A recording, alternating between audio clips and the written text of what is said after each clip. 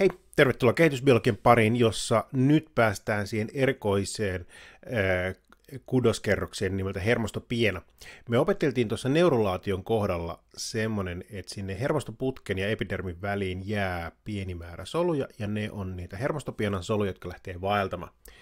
Ja tämä on semmoinen niin sanottu neljäs alkiokerros, mutta ei ole viitetty lähteä rikkomaan sitä ää, normaalia tota, ajatusta, että meillä on kolme alkiokerrosta, niin, ja, koska tämä on pelkästään selkärankasilla. Ja tätä säädellään useilla säätelytekijöillä, jotka estää sen, että niistä ei tule kumpaakaan, niistä ei tule hermostoputkea eikä epidermiä. Ja nämä lähtee vaeltamaan eri paikkoihin, ja nämä vaellusmekanismit on ihan samoja kuin mitä me ollaan totuttu tuolla hermosolujen kohdalla. Ja me tehdään yksi, mitä me tehdään näillä. Me saadaan näillä tehtyä meidän koko periferinen hermosto. Eli sieltä saadaan aistisolut, sympaattinen ja parasympaattinen hermosto tehtyä. Me saadaan sinne näitä apusoluja, gliasoluja, svanninsoluja tehtyä. Sitten me tehdään endokriinisoluja, siellä on lisämunuaisen ydintä tai tämmöinen hankakeräne, joka mittaa meidän veren happi- ja hiilidioksidipitoisuutta.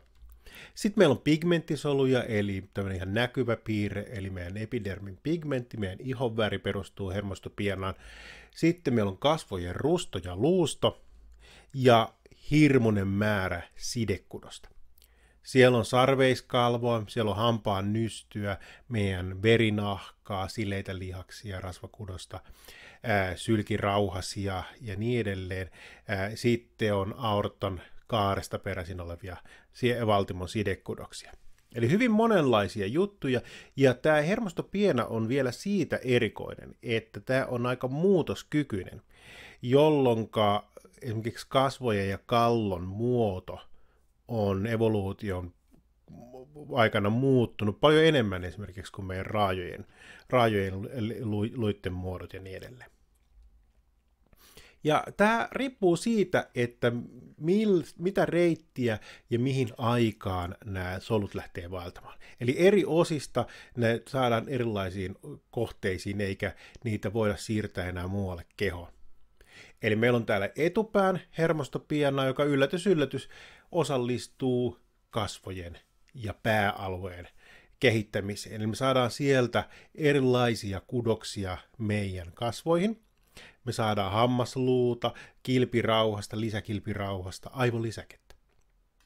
Sitten meillä on sydämen hermostopienaa, joka saadaan sieltä näiden suurten valtimoiden sidekudosta, mutta sieltä myöskin melanosyyttejä, hermosoluja, rustoja sidekudosta. Sitten meillä on tämä vagushermoni ristiluun hermostopiena, joka tekee parasympaattisen hermoston, mutta myöskin osallistuu maksan, munuaisen mahalaukun suoliston kehittymiseen, erilaisiin peristalttisiin liikkeisiin, eli me saadaan suolistossa sitten liikkumista tapahtua. Sitten meillä on vartalon hermostopienaa, joka tekee näitä selkäytimen takaosan aistihermoja, mutta myöskin osallistuu lisämunuaisen ytimen sympaattisen hermoston kehittymiseen, aortahermokimppuihin ja ihon, ihon melanosyytteihin. Eli hyvin monenlaisia juttuja. Ja riippuen siitä, millainen ympäristö on, niin tästä hermostopienan solusta voidaan tehdä erilaisia.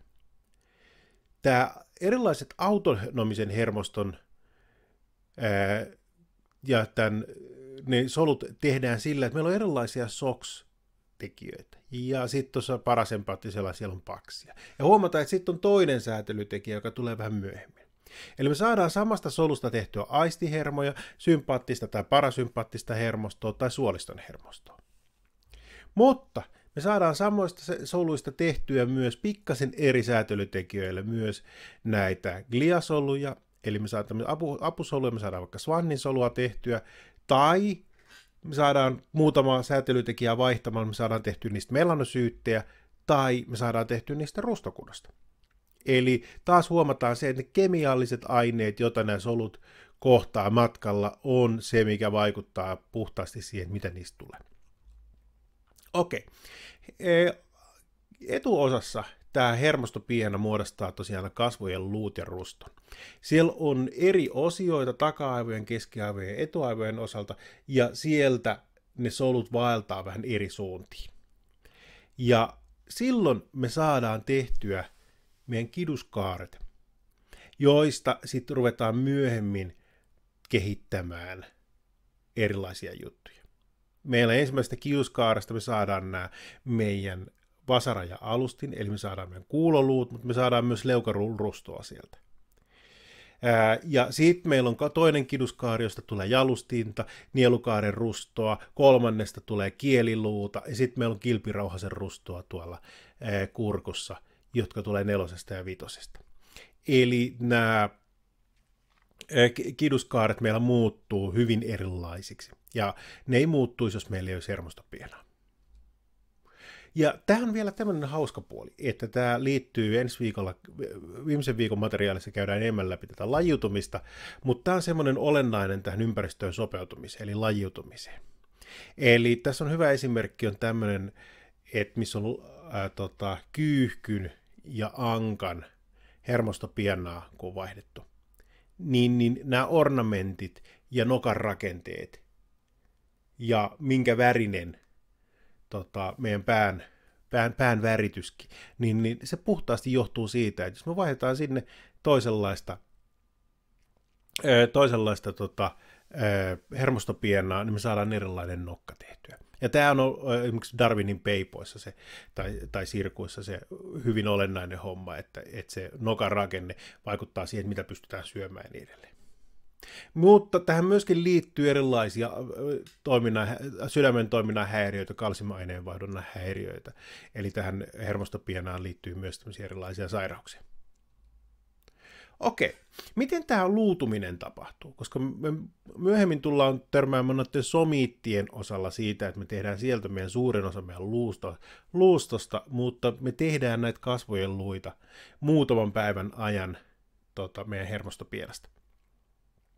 Eli sieltä lähtee näitä hermostopienan soluja liikkeelle. Ne tietyt säätelytekijät aiheuttaa sen, että niistä tulee tämmöisiä eh, osteoblastin esiasteita. Ja silloin ne tietyt säätelytekijät estää tätä kehittymistä, kun niistä saadaan tämmöisiä ää, ää, tota, rustomaisia osteoblasteja. Ja toinen vaihtoehto, mitä me voidaan tehdä, me voidaan tehdä myös rustoa, ja sitten me voidaan kehittää pikkuhiljaa tästä tota, näistä osteoblastin esiasteista tämmöisiä kypsiä osteoblasteja, eli me rakennetaan sitä luustoa sinne. Kiitoksia.